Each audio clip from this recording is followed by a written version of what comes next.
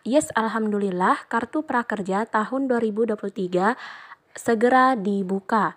Dan seluruh penerima bansos boleh mendaftar kartu prakerja ini. Dan apakah bisa alumni kartu prakerja tahun lalu mendaftarkan kembali kartu prakerja tahun 2023 dan benarkah insentif pelatihan akan dinaikkan. Nah, maka dari itu teman-teman semua yuk simak video aku yang satu ini. Tapi sebelum video ini dilanjut, jangan lupa teman-teman semua klik tombol subscribe dan aktifkan tombol loncengnya ya. Dan jangan lupa juga teman-teman share ke yang lainnya untuk menambahkan informasi kepada mereka. Terima kasih yang sudah subscribe. Assalamualaikum warahmatullahi wabarakatuh. Welcome back to my YouTube channel.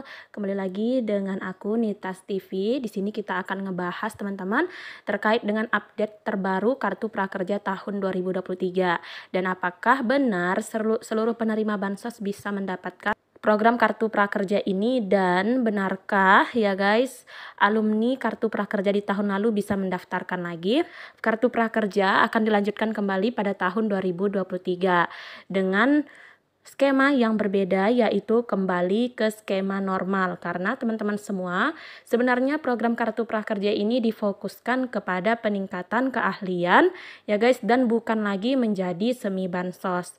Sehingga teman-teman semua nantinya selaku para penerima bansos bisa mendaftarkan kartu prakerja ini pada tahun 2023 karena di tahun 2023 kartu prakerja bukan lagi termasuk kategori semi bansos.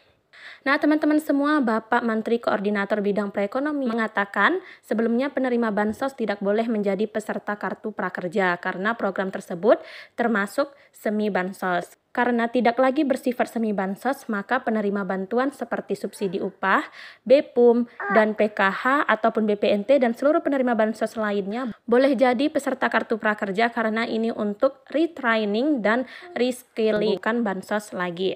Dan ini udah di, diinformasikan mulai Januari tanggal 5 tahun 2023 kemarin. Nah, teman-teman semua, tetapi meskipun begitu ya guys, ada juga beberapa warga Indonesia yang tidak boleh mendaftarkan kartu prakerja ini. Yaitu salah satunya yang merupakan pegawai negeri sipil ya guys, dan hingga pejabat negara lainnya. Ini tetap tidak bisa ikut kartu prakerja tahun 2023 meskipun bukan dikategorikan semi bansos lagi. Dan apakah alumni peserta kartu prakerja tahun lalu bisa mendaftarkan bantuan ini? Jawabannya ya guys, yaitu peserta yang sudah menjadi alumni juga tidak bisa lagi mengikutinya. Dan ini sudah disebutkan atau diinformasikan langsung oleh Direktur Eksekutif PMO Kartu Prakerja yaitu Ibu Deni Puspa Purbasari. Bahwasannya beliau mengatakan PNS tetap tidak bisa kalau sudah jadi peserta kartu prakerja, tidak bisa lagi karena aturannya hanya sekali. Jadi untuk aturan kartu prakerja ini ternyata teman-teman cukup sekali aja kalian bisa mendaftarkan kartu prakerjanya. Oke teman-teman? Dan untuk teman-teman semua bagaimana caranya kalian bisa mendapatkan kartu prakerja tahun 2023? Teman-teman nantinya bisa mendaftar di website prakerja.go.id. Jadi kalian jangan mendaftar di web di website apa pun kecuali di website prakerja.go.id ya guys karena banyak banget biasanya penipuan-penipuan tertentu jika nanti ingin dibuka kartu prakerja kembali. Ingat hanya bisa mendaftar di website prakerja.go.id.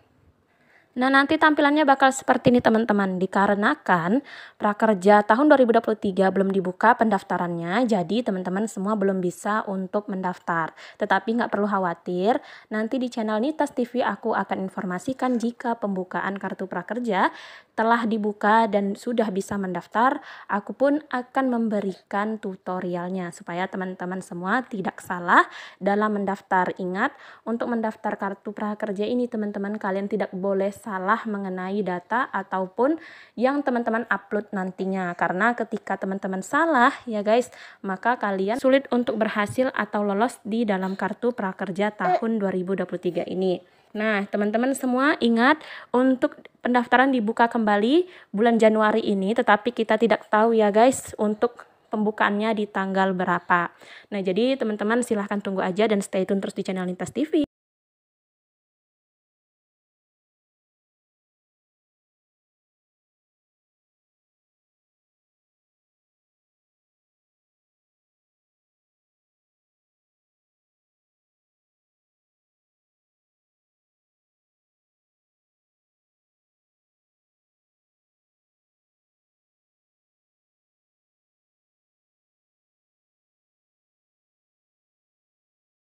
Semoga ini bermanfaat ya guys. Jangan lupa kalian share, like, subscribe, dan juga komen. Assalamualaikum warahmatullahi wabarakatuh.